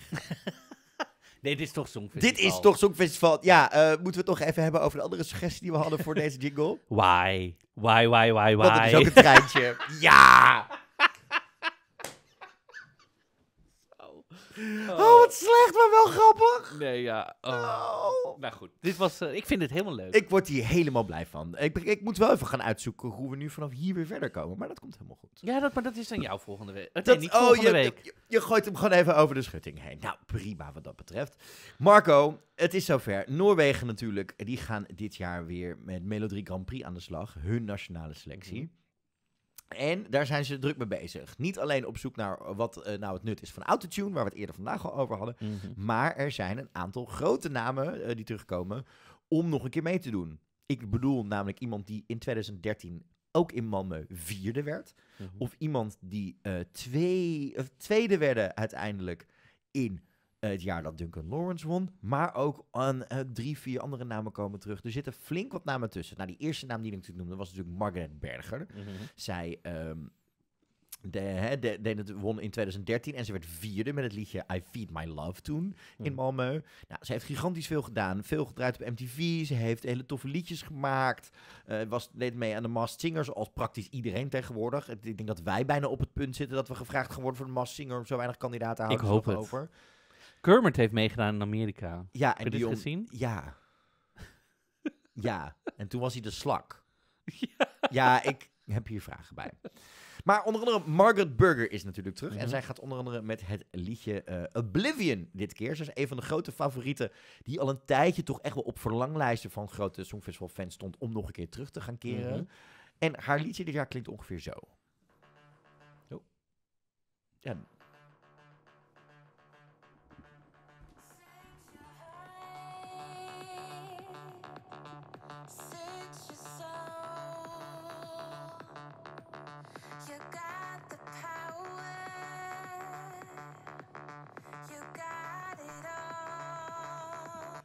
Dan heb je een beetje een idee. Lekker een beetje electropop, binger, Ja, banger. wel Dus dat was van een, een ding waar ik over had. Er zitten redelijk wat popliedjes en ook wat aantal rockliedjes tussen dit jaar. Waaronder ook echt wel ehm, dingen zoals onze grote vriend van Goth Minister. Ik laat me even gewoon de foto's zien aan jou. Omschrijf maar wat je ziet, Marco Dreyer. Ik kijk ze in de spiegel. Nee, ik zie een soort witte, zombie-achtige goth... Ja, god minister. Ja, een soort witte... Ja, Ja. Eh, dat is het Alles alter ego van Bjorn Alexander Brems. Eh, hij werkt overdag namelijk als eh, advocaat, maar s'avonds wordt hij de Goth Minister. vet. En eh, ja, die zit er onder andere tussen. eh, Er zit een aantal popliedjes tussen. Er Zit ook, ehm, moest ik heel erg om grinniken, namelijk in de tweede halve finale. eh, zit iemand tussen. En die heeft ook in zijn biografie staan van. ehm, Oh, ik heb muziek gestudeerd. Ik ben een songwriter aan het studeren. Ik, ben, hè, ik heb eh, eh, singles al gehad en concerten gedaan. Ik heb altijd al deze droom gehad. Ehm, en dit liedje, Take Me to Heaven, gaat over eh, helemaal bevangen worden door iemand en dan durven om eh, vulnerable te zijn. En dat vind ik belangrijk om vulnerable en jezelf te kunnen zijn. Vind ik een, belangrijk issue, zeker in, de, in onze queer community. En dan is het echt zo van, oh ja, we gaan weer even doen dat je zeg maar, ik ben, oh, being yourself, hm, het werkt zo goed bij Gustav vorig jaar. Revolutionary. Dat dacht, surprise me. Maar er zijn twee inzendingen waar we het toch echt wel uitgebreid er even over moeten gaan hebben, Marco. De eerste daarvan is natuurlijk de eh, terugkeer van Keino. Toch, Marco? Ze zijn er weer bij dit jaar. Ze waren, het ze waren natuurlijk overduidelijk met een reden alweer op het grote Songfestivalfeest dit jaar en op andere feestjes van tevoren. Namelijk, toen was er al de roddel. Gaan zij weer terugkomen? Waarom zijn zij hier weer? Waarom zijn zij in één keer allemaal kleedkamers in aan het duiken? Nou, wat bleek uiteindelijk? Eh, zij waren daar allemaal teasers aan het opnemen, want de single was gewoon al af. Ehm, de single heet namelijk Dim Daga Nog Iets. Ik ga dit even goed op. Dam digida. Dam Digida, ik bedoel maar. Ehm, en die zijn weer terug vijf jaar nadat ze in 2019 MGP wonnen. En drie jaar nadat ze tweede werden, achter Tix natuurlijk. Ze schrijven het liedje, omschrijven het liedje als een uptempo liedje wat ze omschrijven als als Aqua, AHA en Lady Gaga een liedje zouden maken voor de 2024 editie van Tomorrowland. En ehm Dam Digida is een eh, nieuw Samisch woord wat eh, omschrijft het Een abs- nieuw Samis? ja, Nieuw Sami heet dat. Oké. Dat is eh, een, een, de, de- je kent de Sami-taal. Dat is een taal die in een aantal Scandinavische dialecten wordt gesproken. En daar is ook een, een nieuwere versie van ontstaan later. cool. Ehm, en dit woord omschrijft het abstracte ding wat mensen samenbrengt. Wat je maakt glimlachen en makes you look on the bright side of life. Nou, Drugs. zij dachten, dit is precies wat we nodig hebben. En zij beweren dat dit een final attempt is to qualify and win the Eurovision Oh. Championship of Pop, zoals zij het noemen. Vind ik interessant, vind ik brutaal. En kijk, we zien natuurlijk de laatste jaren vaker dat er landen vaker, hè, of dat eh, acts vaker terug willen komen. Potdom, we hebben net een winnares gehad die weer terugkeerde na een, een ongeveer tien Mhm. jaar. Maar als je tweede wordt in Israël, Mhm. en dan ook nog eens een keer twee jaar, of twee jaar later weer probeert, het dan niet wordt, en dan nu, tweeënhalf jaar later, weer, begint het misschien een beetje een soort van, hoi, Songfestival, we willen zo graag te worden. Dat gezegd te hebben over Keino vind ik zo bloedhysterisch, en is dit hun liedje, en dat liedje heet Marco. Dam digida.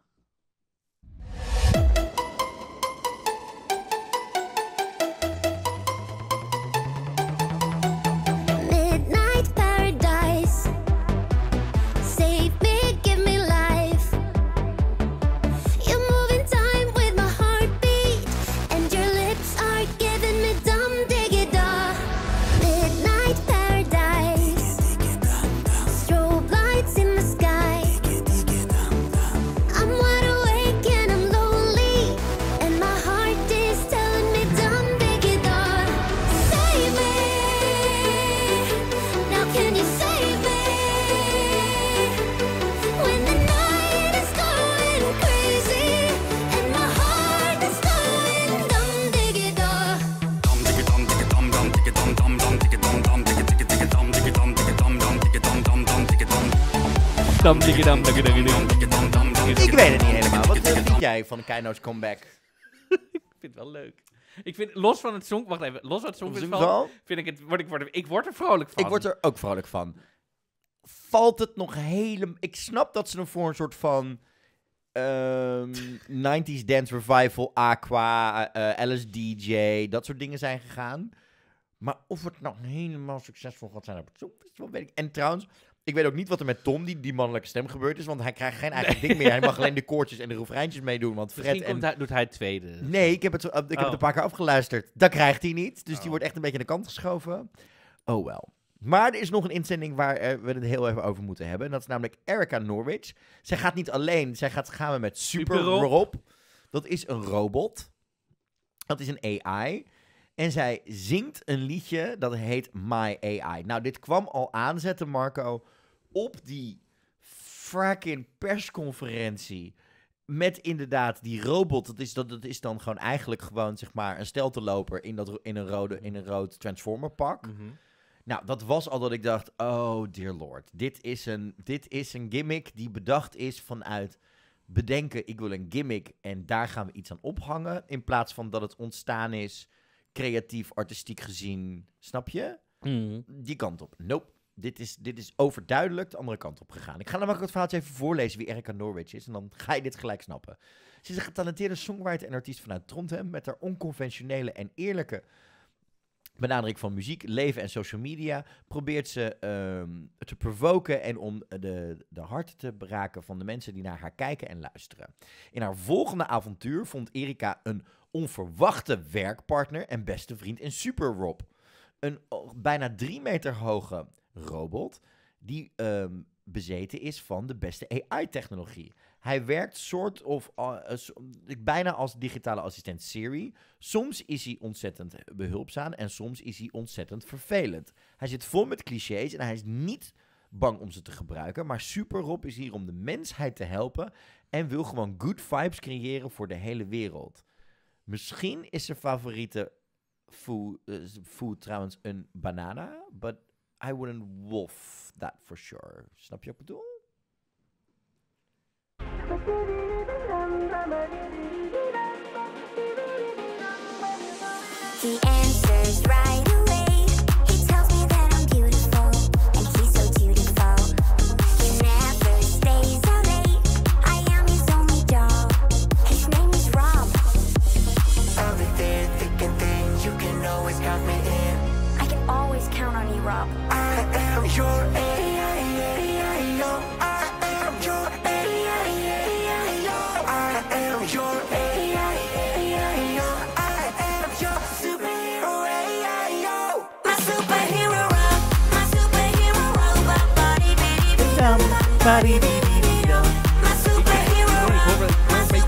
In Noorwegen. Ja, maar hoor je ook niet toevallig misschien een hele herkenbare stem van Subwoofer in, in onze Super Rob voorbij zien komen? Nou, het zou zomaar kunnen. zou zomaar kunnen. Misschien moeten ze hem programmeren na Malta met de bananen. Nou, maar even. Ik wil het hier dus heel graag even over hebben. Want ik eh, koppel het gelijk even aan het volgende nieuwtje. Namelijk het feit dat San Marino, eh, namelijk een songwriterkamp, eh, net geopend is voor liedjes die dit jaar mee willen doen voor San Marino 2000, eh Un Voce per San Marino 2024. Mhm. En dan zijn er dus tien liedjes nu geselecteerd. En dan komt er dus een songwriter camp. Wat in eerste instantie gebaseerd is op liedjes en ideeën die uit AI komen. Mhm. Het is gedaan met, samen met Ka- Kasparaki. Dat is een Londense start-up. En ehm, dat is een chat-based muziekproductiesysteem... waarmee je AI-samples en eh, patronen kunt gebruiken... waardoor er dus gewoon full-length tracks komen. En als die muzikale tracks er dan zijn... eh, waarbij je ook nog eh, melodieën en ook misschien nog teksten erbij zou kunnen doen... met ehm, zelfs AI-vocalisten voor demo-tracks... En dan daarna gaan er nu songwriters overheen om dat dan te perfectioneren. En die liedjes zijn er ook al. Ja. Maar ik vind dit super vaak beluisterd op YouTube. totaal niet. Nog maar niet, dat- geen honderd keer. Nee, maar ik vind dit een zorgelijk ding. Want we weten allemaal, er loopt op dit moment een rechtszaak tussen de New York Times over dat er letterlijk dingen gekopieerd worden qua AI. We weten dat eh, veel kunstenaars ehm, en ook veel mensen ehm, niet het ermee eens zijn dat hun werk of hun gezicht of hun Als beeltenis input wordt gebruikt. als input wordt gebruikt eh, voor ehm, dingen. Of dat het werk afneemt van echte kunstenaars, wat vaak ook al aan het gebeuren is. Eh, doordat er AI-dingen gebeuren. Ja, ik vind het zorgelijk dat je dan in een competitie die gaat over creativiteit en de menselijke creativiteit, dan een grappig liedje gaat maken over AI. En als je San Marino, toch, ik snap het, San Marino is een land wat vooruitstrevend probeert te zijn. eh, door ook inderdaad een ehm, flowrider mee te laten doen. Door, eh, eh, jaren geleden ze niet twee, twee uit te laten brengen waar fans door mochten kiezen. En dat was de uitslag.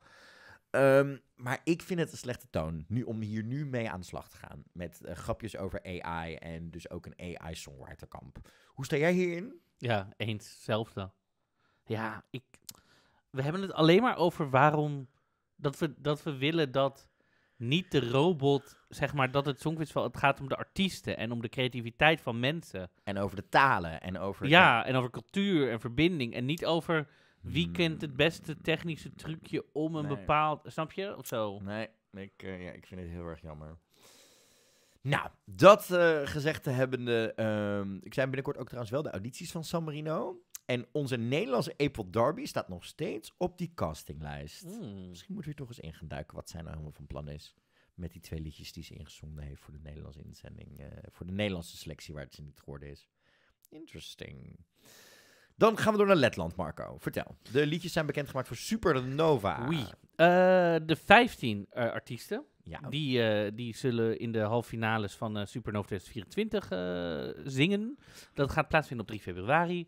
En de winnaar daarvan eh, wordt eh, bepaald door de jury en de publiek in de finale. eh, en dat is op 10 februari. Mhm. En die, ehm, ja, kunnen... Die een- liedjes zijn er nu ook alweer. die liedjes zijn er ook weer. Ik heb nog niet de tijd gehad om, om dat te, om te luisteren, dus ik heb daar niets verder over te zeggen. Maar ehm, Ik heb ze ook nog niet kunnen luisteren, maar dat gaan we zeker doen in de week ervoor afgaande. En komen we dus nog even bij je op terug wat onze mening is over deze nationale ja, finale. maar die zijn dus, Letland is bekend. Ja, de eerste twee liedjes voor Ierland zijn trouwens ook bekendgemaakt ondertussen. Ehm er is eh, het liedje Love Me Like I Do. En vandaag het liedje Gotoban bijgekomen van, Mhm. eh, van Alicia. Eh, de rest van de liedjes komen er ergens de komende week aan. Ehm, ik moet je eerlijk al zeggen, dat tweede liedje, dat liedje van Alicia... En ook dat liedje van, vooral het liedje van Erica Cody, dat ik dacht, oh, hier kan ik wel iets meer mee. Het zijn al twee liedjes die samen al bijna net zo goed zijn als wat er vorig jaar al die inzendingen bij elkaar was die in die nationale finale zat. Kan je die nationale finale nog herinneren? In die talkshow met die prijspot vol met Ja, potten pindakaas en opgezette dieren en alles en dat soort dingen. Laten we hopen dat ze het dit jaar beter gaan doen. Ehm, wel opvallend trouwens. Ze maken de liedjes dagelijks bekend op de nationale publieke radio van eh, Ierland. Maar vervolgens volledige interviews worden gedaan door de Ierse fanpodcast. Die hebben dan het eerste exclusieve ding. Dus je laat als publieke omroep, laat je een fanpodcast al het werk voor je doen. Mhm. Vind ik een beetje. Hoop dat die fanpodcasters er ook iets aan budget of eh, andere dingen Krijgen. eh, voor krijgen of iets gedaan hebben.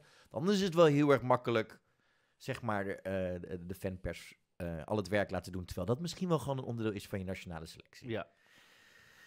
Maar nu, Marco. You ready? You ready, you wil, ready, wil je you Cyprus ready. nog benoemen? Want Dat neem ik aan dat het niet is wat groot is. Wat je... Oh, jawel. Ja, dat het dit, is, dit is, dit is, dit is the drama, the tea, the, the crazy, the- Ja. Ik dacht, er is alleen de titel nu bekend. Nou, dit- dat dacht je. De titel Ja. is namelijk... Liar. Ja, want Celia Kipses gaat eh, voor Cyprus. En eh, dat liedje is bekendgemaakt. Ehm, en dat liedje is trouwens schijnbaar medegeschreven door een, ehm, door een Nederlandse, eh, genaamd Elke Tiel. Geen idee. Ik ook geen idee, maar interessant is, eh, daarnaast eh, is het gecomponeerd... Zat de broer van Flipje? Ja, dat zou best kunnen. Eh, gecomponeerd onder andere door Dimitri Kontopoulos. Die onder andere ook werkte met Stefania, met Sergei Lazarev, met, Natalia met Natalia Gorjenko. Ik bedoel maar Annie Lorak, Angelia, Angela Pestieri. En ze heeft ook het liedje dus voor Angela Pestieri gemaakt. Met dikke tiet. En Souviste heeft, ze- heeft hij gemaakt. Oh. Ja, maar nu komt the drama, the, the craziness, de alles. Dit liedje Liar Mhm. is dus al bekend onder Songfestivalfans. Waarom? Dit liedje is namelijk in de running geweest voor 2022, het jaar dat we in eh, Turijn waren, voor Clava Muskoka. Zij scheen toen degene geweest te zijn die intern geselecteerd was voor Rusland. Mhm. Ehm, en dat dit een van de liedjes was waar ze toen mee zou willen gaan. Mhm. Nou, we weten allemaal hoe dat afliep met Rusland en Oekraïne. Dus Mhm. die mochten niet meedoen dit jaar. Toen heeft dat liedje zijn biezen gepakt en kwam in 2023 terecht bij Melissa Mansoukas. Mhm. Kun je die nog herinneren? Nee. Weet je nog wie dat is? Weet jij niet wie dat is? Melissa Manksouka? Nee, niet googlen, niet opzoeken. Je hebt geen idee wie dit is? Nee, ik heb geen idee wie het is. Nou, deze naam had je kunnen onthouden, want dit is die dame waardoor Griekenland vorig jaar bijna niet naar het Songfestival ging. Dit is die meid die tweede werd in die nationale Oh, selectie. ja. En toen met een rechtszaak dreigde, waardoor Ja. Victor Vendikos bijna niet Mocht. in zijn boskabouterpakje, uh, boswachterpakje, kon gaan rondspringen op dat podium. Ja. Die arme jongen. Oh, ja. Met welke liedje zou Melissa gegaan zijn en tweede geworden zijn vorig jaar, waardoor ze Liar. dit, dit- Het liedje Liar, inderdaad. En daarom hebben we waarschijnlijk ook al een uitgelekte versie van hoe dit liedje gaat klinken. En die klinkt dan zo. Even kijken hoor. Die staat erin. Dat is dat geheime Twitter-link dat dat, geheime erin staat. Ja. Ik denk, dit is weer jouw porno-account of zo. Nee, nee.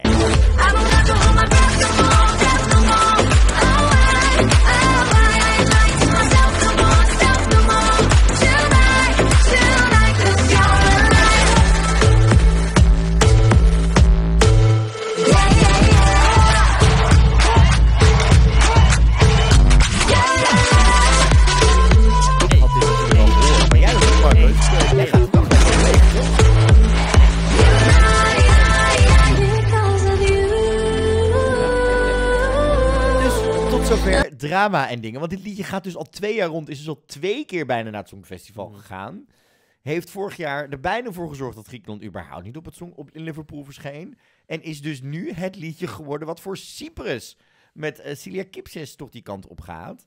Maar de- we hebben de versie van Melissa. Is toen dus al een keer gelekt. Schijnbaar is er nu dus ook al een versie gelekt waar Celia op te horen is. De eerste demo-versie. It's, it's, it's the gift that keeps on giving, hoor, dit, eh, deze selectieprocedure. Die Melissa is wel lekker bezig. Die had ziet, als ik niet ga, gooi ik het liedje gewoon over. Dan gaat het volgend jaar maar iemand weer doen. Dus ehm, vond ik interessant dat dit liedje dus al twee jaar bijna op het Songfestival belandde. En nu eh, hier, eh, hier uiteindelijk belandt. Er zijn wel fans die gelijk zoiets hebben. Ja, maar dit liedje kennen we allemaal al. Want die, die hebben vorig jaar zoveel gedoe om gehad. En eh, toen ook zo blij om geworden dat het, dat het het niet wordt. Zij gaat het, of tenminste Melissa gaat het niet meer uitbrengen, zegt ze. En is ook schijnbaar heel erg zuur dat het liedje dus nu aan een ander is ehm, eh, doorgegeven. En dus wel naar het Songfestival gaat zonder dat Melissa het gaat doen. Snap ik. Dus wie weet komt er wel weer een nieuwe rechtszaak. Zat ik even op te wachten. De drama, the tea en de drama of it all. En de drama en de tea is ook dat een van onze junior favorieten van de afgelopen jaren uiteindelijk toch niet naar het Songfestival gaat. Want uiteindelijk blijkt zij toch te jong te zijn. En dat gaat om Sarah James voor Polen. Je weet wel, de dame die zo ontzettend prachtig bezig was in 2021 in Parijs. Daarna eh, natuurlijk belandde bij America's Got Talent. Mhm. En volgens Roddels was zij degene die Polen dit jaar heel graag als interne selectie die kant op wilde gaan sturen. Maar uiteindelijk kwamen ze erachter dat zij volgens de Songfestivalregels net te jong zou zijn. Mhm. Eh, want zij was natuurlijk niet ouder dan 13 dat ze meedeed aan het Junior Songfestival. Dat was in 2021. Het is nu twee jaar later. Dat maakt haar waarschijnlijk nog net niet 16 binnen de Songfestivalregels. Het is een beetje onduidelijk of je 16 moet zijn op het moment dat het Songfestival plaatsvindt. Of dat de deadline is, of dat het 1 september moet zijn. Dat is een beetje onduidelijk Mhm. in die zin.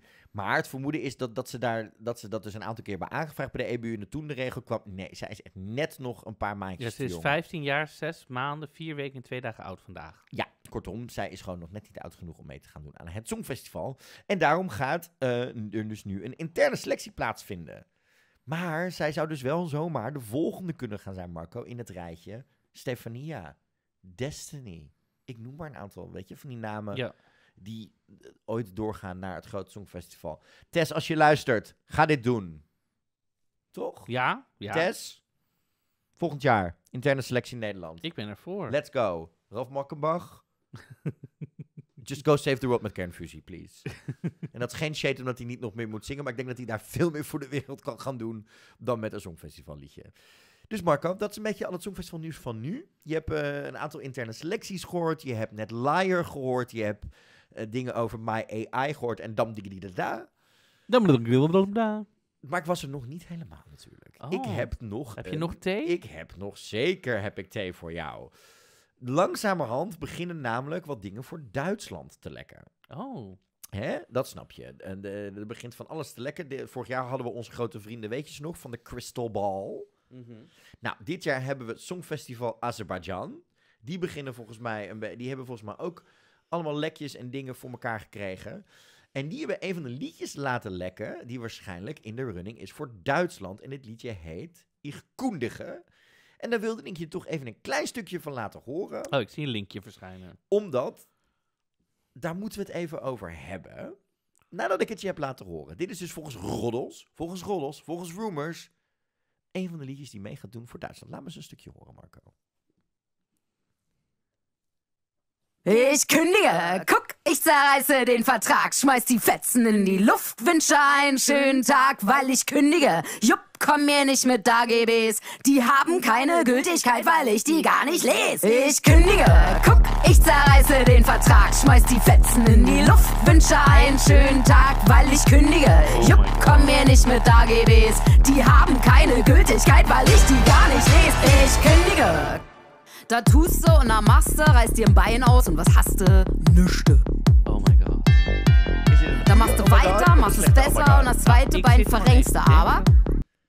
Joost, Matt Black, Dom Digida, Ich kundige.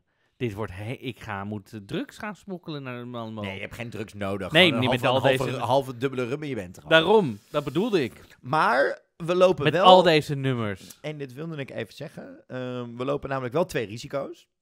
Risico 1 is dat eh, veel mensen al deze wat elektronischere en eclectischere, moderne manier van muziek maken en briljante teksten combineren met eh, elektronische klanken op één hoop gaan gooien. Dat het Mhm. allemaal één, het is allemaal van die nieuwe één elektronische meuk wordt Mhm. waar we voor moeten uitkijken. Aan de andere kant lopen we het risico dat er te veel landen hebben gekeken naar, denk ik, de- vorig jaar. En dan niet alleen naar Kadia met Finland, maar ook naar Luke Black, ook naar Thea en Selena en nog één of twee landen. En dat ik denk, moeten we wel voor uitkijken hoor. Dat we niet te veel van de moderne elektronische liedjes gaan krijgen. Als dit bijvoorbeeld 16 van die liedjes gaan worden van 37 landen, dan gaan we denk ik verliezen waar het Songfestival zo goed in is. En dat is zoveel van die verschillende genres bij elkaar brengen. Mhm. Dus eh, Ja.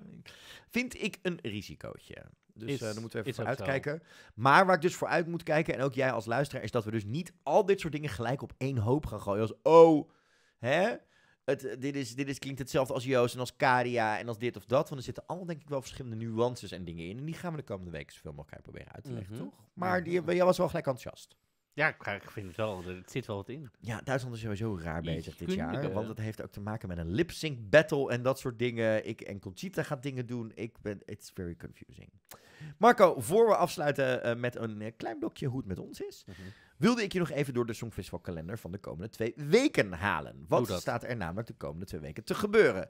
Ten eerste eh, op woensdag 10 eh, januari, het is januari, go figure, eh, worden om 7 uur 's avonds de kandidaten voor UMK bekend. Dus dat is net na het opnemen van deze podcast. Dus die bespreken we volgende week in aflevering 12. Op zaterdag 13 eh, krijgen we Moldavië met de live audities. Noorwegen gaat de eerste voorronde doen van Melody Grand Prix. En Litouwen begint aan Eurovision.lt, de eerste voorronde. Op dinsdag de 16e, dus volgende week dinsdag, maakt Oostenrijk bekend wie voor hun zou gaan. Er gaat een kleine rol dat het misschien Cesar Simpson zou kunnen zijn met een comeback.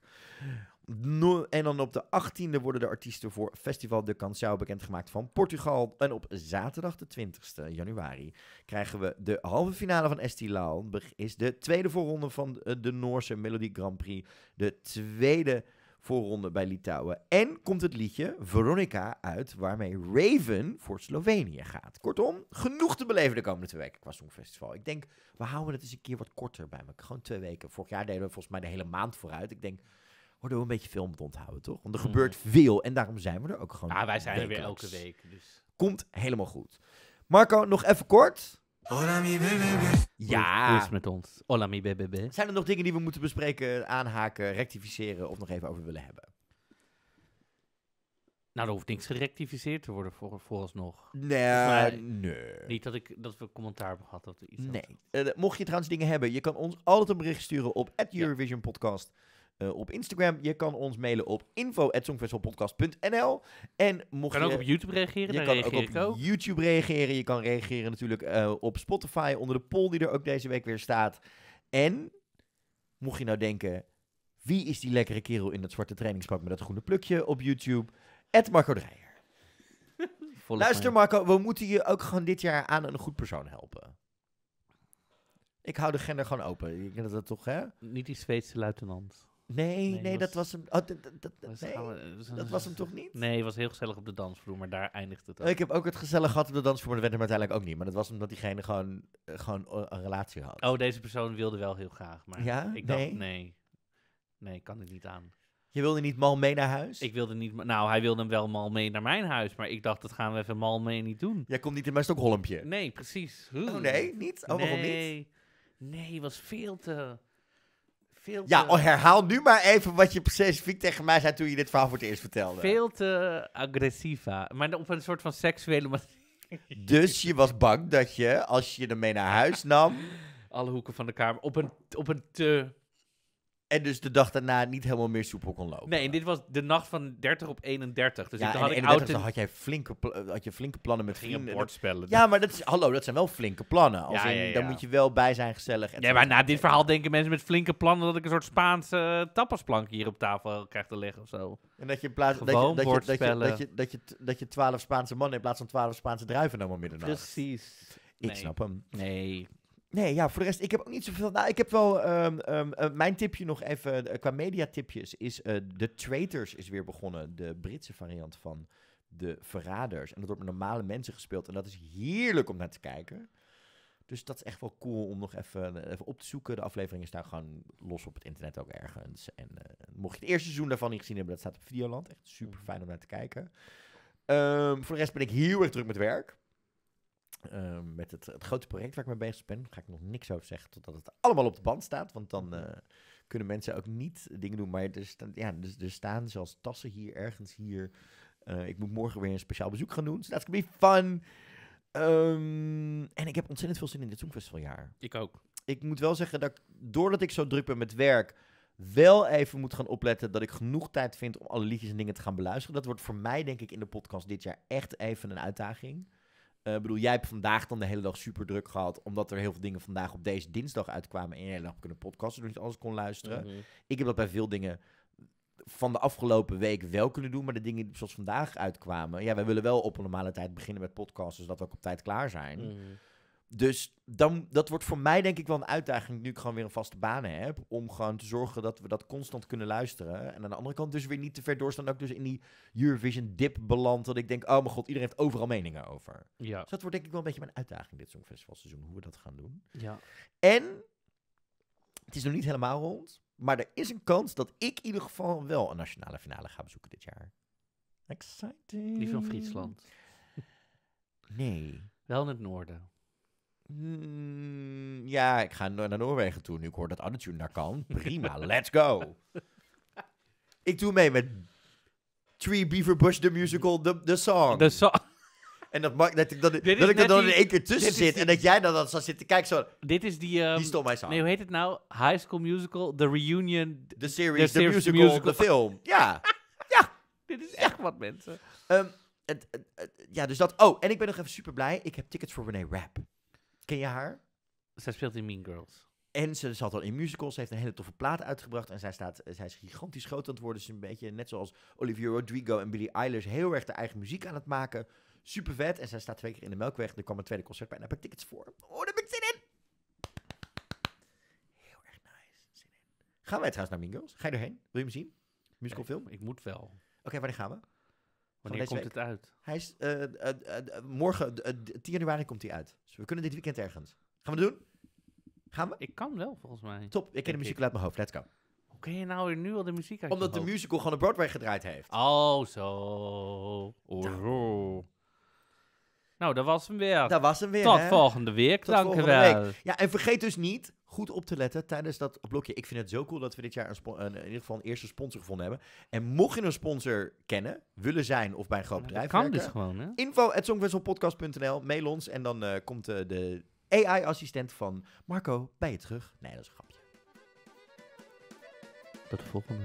Tot de volgende. Dit was Dingedong, de Nederlandse podcast over het Eurovisie Songfestival met Marco Dreyer En met G. Kooijman. en eh Treintje Oosterhuis.